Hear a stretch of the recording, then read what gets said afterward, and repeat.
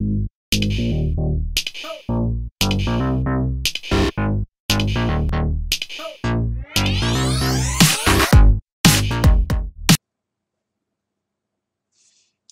it's Manon again. Um, today I want to share with you something that I made, a DIY that I tried and it worked. So that's what you see at the screen. I transform an IKEA um, shell, a DVD shell, into a rack for my washi tape or my ribbon. Um, I'm gonna show you. That's, oops, I'm gonna put in English. Ah.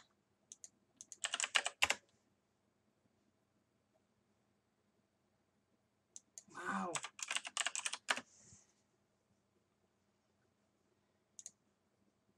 Sorry for that. That is what I uh, had on. Uh, I didn't buy it just to do this DIY. I have so many you can see behind me. I have like 13 shell like that uh, at home so uh, I'm not using them anymore and uh, so okay I'm gonna explain why it's so me the mess behind me we are in the middle of renovation as you can see I'm in the in the corner in my um, downstairs and uh, basement in my basement. And uh, where there's some just you see the blue and the, the, the curtains there? We're gonna put a wall there. And behind that is gonna be a small room for storage. So our storage now is the the basement room and uh, it's gonna be my room it's gonna be my craft room I can't wait so um, I don't have a lot of money to buy uh, IKEA stuff. It's so nice. I love seeing all the craft room on Pinterest, on Instagram, on Facebook. The rooms are so gorgeous, but I don't, I don't have that kind of money to do it. So I'm gonna use some mix and match and uh, what I have under my hand. And I had those shelf, and I wanted. I was thinking, what can I do with them? And after seeing another tutorial on doing a paper rack, I thought, wow, maybe I can do the same thing, but for my washi tape and my ribbons from my DVD shell. So, that's the shell that I use. Uh, okay, I'm good. Just, if you can see, that's the size. There, the way you put them together, you have some screw on the top, in the middle, and on the bottom. So I just cut my shelf in half. It's 37.5 inch tall each panel that I cut. Um, so you can do two rack with one shelf. So, ah, that's not what I'm doing. Okay, so I took my shelf like that. I transformed them for my washi tape. So, at first, I wanted to take the small shelves that that the insert and uh, cut them in strips and glue that. I try it. It's not good. It it can it can work if you have the time and you you can you want to pen them and everything. It can work. But I didn't like the result and the result is right here and it's gonna be probably in the garbage. So like you see you see all the wood and it's harder to to be uh, straight uh, to have the same size uh, it, it's harder. So yesterday I went to the dollar store which is called Dollarama here in Quebec uh, and I found these so it's screwers. It's just wood screwers.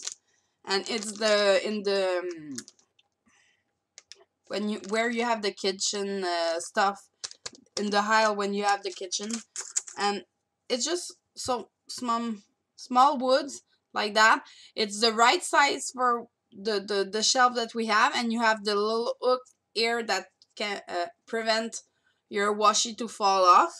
So what I did I took them. I, I thought that just one was too small for the the rail.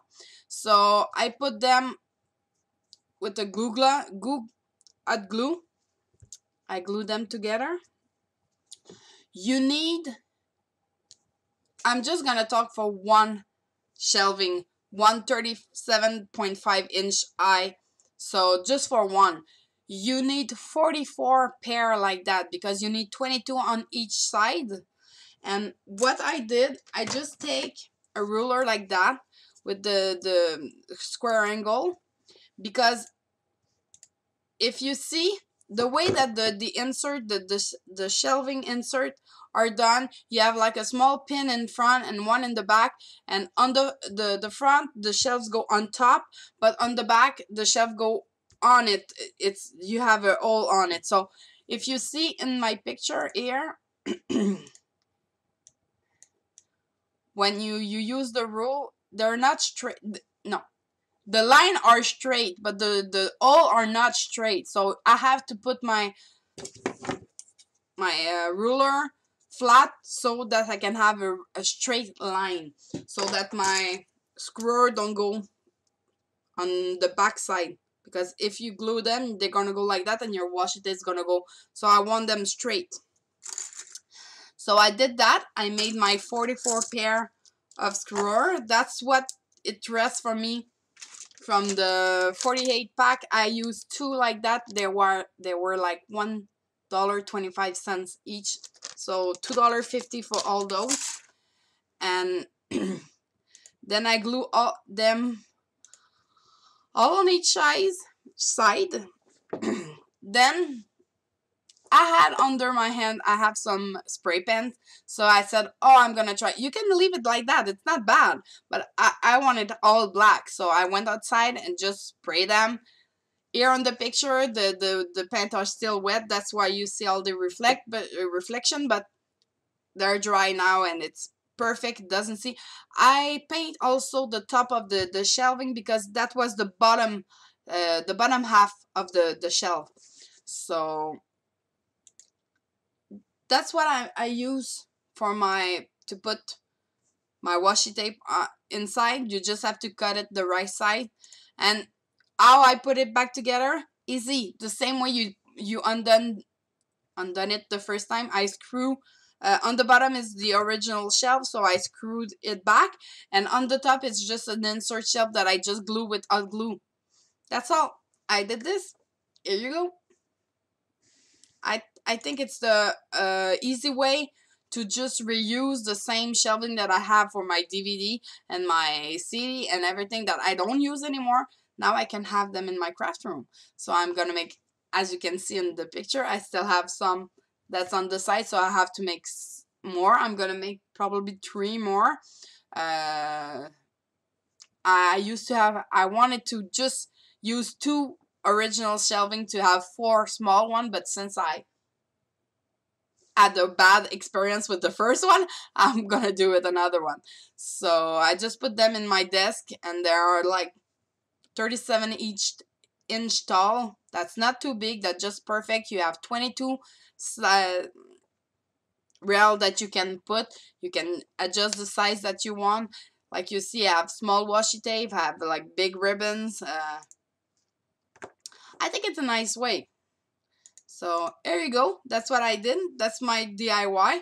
Uh, hope you enjoy it. Don't be shy. Ask com ask a question. Just comment just give me a thumbs up maybe. Thank you. Have a nice day.